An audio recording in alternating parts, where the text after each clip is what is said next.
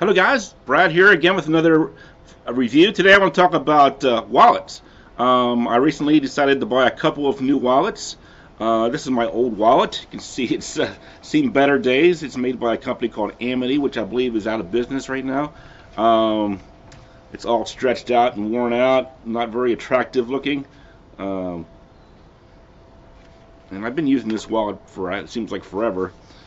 Um, but I really like it because uh, it carries a lot of stuff, probably because it's so stretched out, and also it has this coin pocket um, there, coin pocket there that you can put coins in, and I really like that feature in my wallets.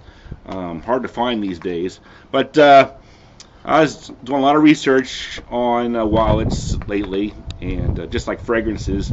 Uh, it's very easy to become obsessed with finding the perfect thing. So uh, I actually ended up buying two wallets, and I'm going to talk about each wallet separately in two different videos. So let's talk about the first wallet that I bought, and this will probably be my go-to wallet for most occasions, and it's made by a company called Axess, the Axess Front Pocket ID wallet.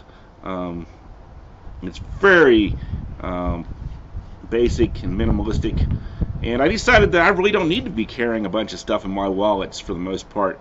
Um, in my old wallet, I would carry pretty much everything that I thought I needed to carry, and I come to the realization that it's really not necessary for most occasions to carry all this stuff. Um, so this wallet, it uh, has a window pocket for your driver's license. It's got a few pockets there for, I'd say two nice pockets for uh, credit cards and ID or whatever you want to put in there.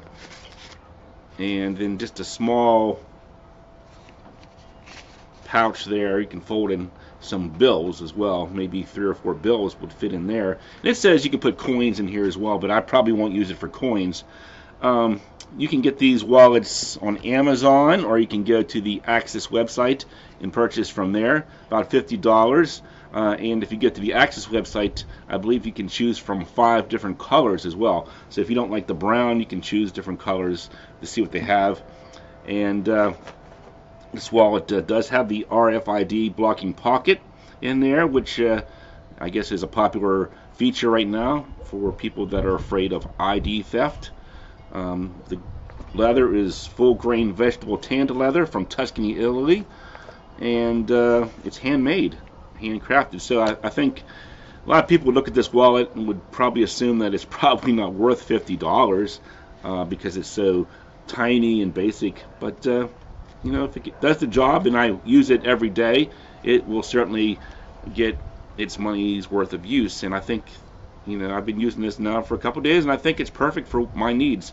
Uh, just my uh, driver's license, a couple cards, couple bills and I'm good to go. And it fits in my front pocket very comfortably certainly more so than this thing did.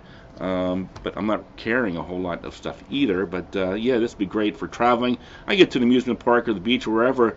Um, I don't want to be carrying a bulky wallet and uh, risk getting my stuff stolen. I mean if this did get lost or stolen it would be a pain to uh, replace everything but it wouldn't uh, be nearly as bad as if I lost everything I owned. So I think I'm going to go with this minimalistic front pocket wallet from Axess. Um, check it out and see what you think. Uh, let me know down below in the comments which uh, kind of wallet you're using right now. It'd be interesting to know. And in a next video, I think I'll talk about the other wallet that I just bought. A little more bulky and uh, you know large. So this one, yeah, for basic use is perfect. So thanks for watching. I'll talk to you guys later.